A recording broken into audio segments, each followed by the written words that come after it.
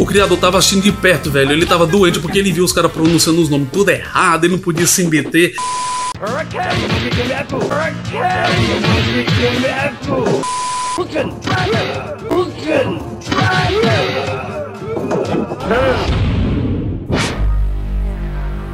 Ah, cara, esse som é muito nostálgico, não é?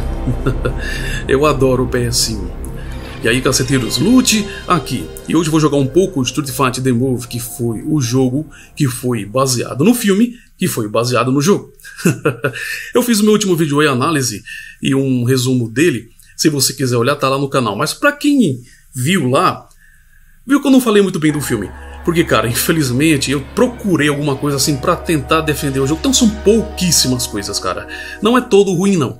Mas na maioria em si, o filme deixou a desejar. Bom, isso porque eu conheci a história quando o, jogo, o filme foi lançado. Alguns amigos meus não conheciam e até que achou o filme legal, porque naquela época tinha muito filme assim baseado em comédia, de guerra e umas lutas, naquele estilo lá. Aí eles não acharam. Não, não viram muita dificuldade, não. Mas pra gente que conhece a história do jogo como eu conhecia, cara, e quando eu pa, pa, contei a história, a história do jogo pra ele, como o filme deveria ter sido, aí eles começaram a pensar: caramba, velho, que mudança, hein? Mas enfim, eu fiz análise e tá lá. Mas e o jogo? Será que o jogo é tão ruim quanto o filme? Bom, o que eu posso dizer para vocês é o seguinte: na moral, o jogo não é dos melhores, isso se a gente for comparar para os padrões da jogabilidade de hoje em dia, mas ao mesmo tempo ele não é tão ruim assim. E vou dar play aqui e vou ver, porque o jogo primeiro foi lançado para o arcade lá, cara, e no arcade lá, ele na verdade ele é um Mortal Kombat com os personagens de Street Fighter, cara, porque a jogabilidade é exatamente igual. E o nome da empresa que eu não lembro aqui agora, se eu lembrar aqui vou colocar na descrição, ela fez o exatamente baseado em Mortal Kombat. Assim, não exatamente mente mente igual a Mortal Kombat, mas bem parecido. Que é direito de imagem para jogo para filme tinham que ser pagos os atores. E quando o jogo foi lançado para o arcade, ficou faltando alguns personagens. Por exemplo, na versão arcade não tem o Blanca. Não é que essa coisa linda aí.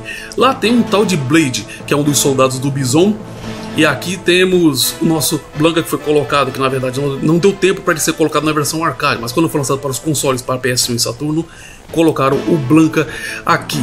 Bom, eu também ouvi o boato que era o seguinte: colocaram Blanca porque o jogo poderia chegar aqui nas regiões e como Blanca é popular por aqui, aí adicionaram ele. Bom, isso aqui foi um boato que eu ouvi, não posso confirmar que é verdade, mas ele está aí. Vou jogar com Blanca, né? Já que não tem o Blanca lá na versão arcade. Olha que bicho lindo! E quando lançaram ele para os consoles, a jogabilidade dele puxou mais para o lado de Street Fighter. Aí sim ele ficou um jogo baseado no filme, que é baseado no jogo, mais parecido com o que o jogo deveria ter sido, ok? e olha só, os movimentos de capturas foram pegos. Op, igual Mortal Kombat. Ai, ai, ai, ai, ai. Os personagens, eles... Eles... Caramba! Tá da Chuli. Nossa, o Blanca... Ele é bom de chute, mas...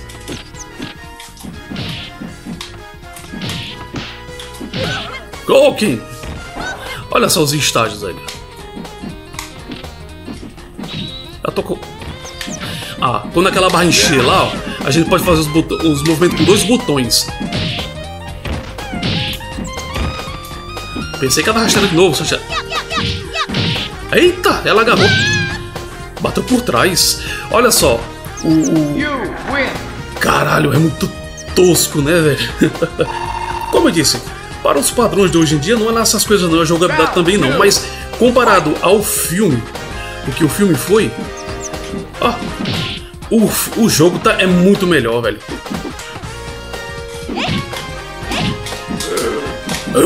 Oxi! Cara, eu dou muita risada, tanto com o filme como. Oxi, e não acerta, não, é os. Os golpes, é. Ele tem mordendo, velho. Que coisa feia do cara. Ah, era pra ter mudado os botões aqui, velho. Cara. os movimentos foram capturados também para os personagens. Que coisa feia, velho. Também capturados para os filmes e aproveitaram e depois também fizeram algumas coisas para o jogo também. E os movimentos aqui não são difíceis de sair não, é porque meu controle aqui já é velho, não presta, eu também tô fora de forma. Esse estágio aqui também, se comparado ao arcade, esse aqui, eu, ao meu ver, esse aqui tá mais bonito. A jogabilidade, velho, é muito melhor aqui. Pera, pera, pera, pera, deixa eu mudar esse negócio aqui. Ah, ele tem a bolinha pra cima também. Que aqui é inspirado na jogabilidade do Super. Agora, com os dois botões, ó. Depois que enche, a gente pode fazer os movimentos com dois botões que difícil sair, né? Uhul! Ó, tá vendo? Os movimentos são do Street Fighter Super. A jogabilidade é baseada lá. Caramba, agora os golpes é ruim de pegar, velho. É meio bugado aqui. As hitbox. Hitbox é bugada demais, velho. É muito feio. Olha a posição do, do, do Vega. Os quadros de captura são bem menores do que, a, do que o arcade, velho. Você pode ver que são. Ó, as iluminações é feia, não tem nada a ver. Oxi, golpe feio do caralho. Cara, eu não sei se eu jogo, se eu olho pros movimentos, olho os personagens.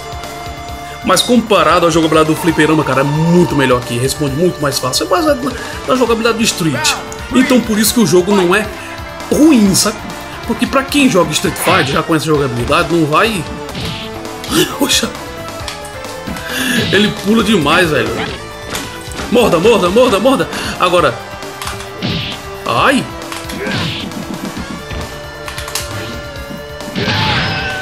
Aí laifada! Olha só o especial, velho, feito no final. No fliperama, quando você mata um especial, cara, é um, um afeto explode. A barra de HP lá, um, um afeto danado.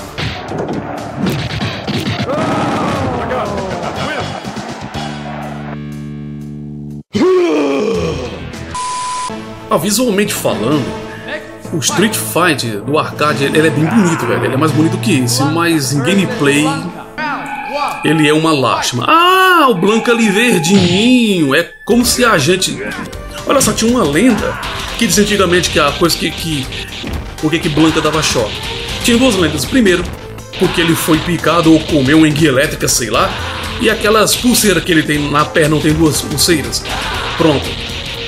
Diziam que ele era aquilo ali que fazia ele dar choque, porque ele juntava as duas. Aí dava choque, entendeu? Vou matar você no choque! Rapaz, agora vendo o Rio, foi que eu lembrei de uma coisa.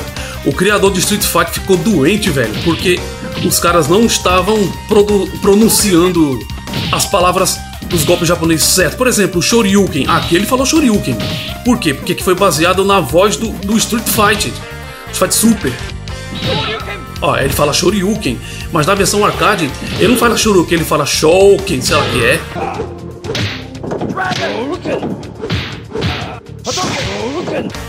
E o Tex-Mex em Pukiako, eu quero ver como é que ele fala aqui. Eu tenho pra mim que ele fala o Tex-Mex em Pukiako mesmo, mas no fliperama, cara, ele fala uma coisa muito tosca.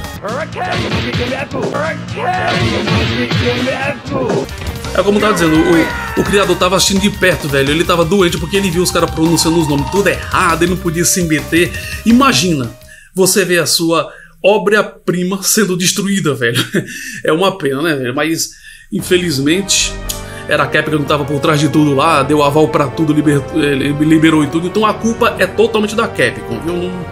Nem tanto do diretor. O diretor fez, né? Mas a Capcom assinou embaixo. E esse jogo aqui, ele escapa, velho. Mas olha o Ken aí, eu falei no, no Diabo quando apareceu. Agora o Ken eu lembro, quando ele dá o Shuruk lá, ele fala Dragon. Ó, oh, ser Puke. Ó, aqui, Shoryuken. Lá ele não fala Shoryuken, lá ele fala Dragon. E o Tex Puke aqui fala Hurricane.